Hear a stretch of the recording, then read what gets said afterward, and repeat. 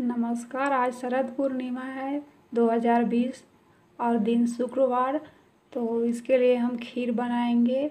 ये खीर बना के और आप चाँद की रोशनी में रख दे, जिससे कहा जाता है कि अमृत की वर्षा होती है। इसके लिए हमने दो के जी दूध लिया है, इसको थोड़ा सा सुखा लिया है दूध को और इसमें दो तीन मुट्ठा के आसपास हमने खीर का चावल लिया है और कुछ सूखे मेवे हमने लिए हैं। इलायची है, इसको हम कूट के डालेंगे और काजू, बादाम और किशमिश ये सब हम डालेंगे। अब इसमें अब एक खोल गया है दूध, इसमें हम चावल डाल देंगे। इसमें हम चावल डाल देते हैं।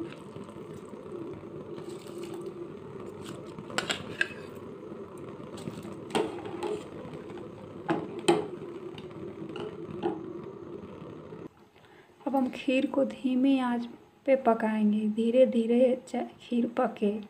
इसके लिए हम गैस को धीमा कर देते हैं। बीच बीच में हम एक दो बार चेक कर लेंगे। ये बिल्कुल पक गया है। थोड़ा सा पतला, इसको थोड़ा और गाढ़ा हम करेंगे। आज से ही शरद ऋतु का आगमन हो जाता है।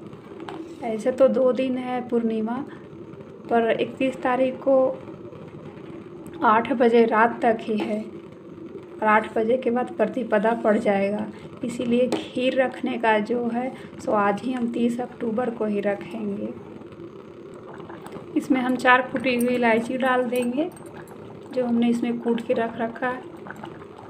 बस चीनी खाते हो तो आप चीनी डाल दें। अगर चीनी नहीं खाते हो तो आप गुड़ डाल दें। और अगर गुड़ भी नहीं खाते हो तो सूखा मेवा जो हम डालेंगे, उसी से मीठापन आ जाएगा।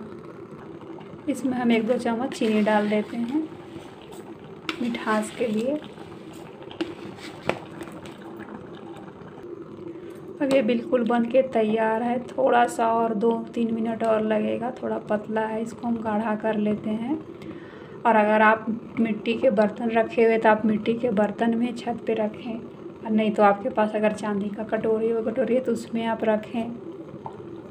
और वो भी नहीं है तो बस आप पतीला को किसी चलनी या कोई मलमल कपड़ा से ढक के अच्छी तरह से कवर करके रखें कि कुछ कीड़े मकोड़े उसे हानि ना पहुंचाएँ।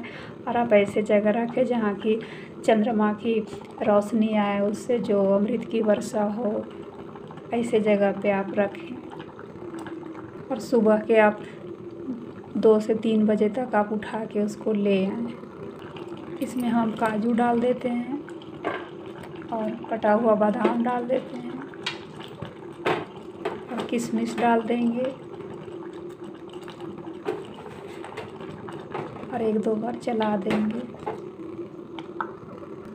आप खीर बना के पहले अपने इष्ट देव के भोग लगा लें, उनको अर्पण कर ले, उसके बाद आप ऊपर चाँद की रोशनी में रखें। और आज तो और महासंयोग है कि शुक्रवार को पड़ा है, लक्ष्मी माता का दिन है तो आपको सब चीज़ मिल जाएगा।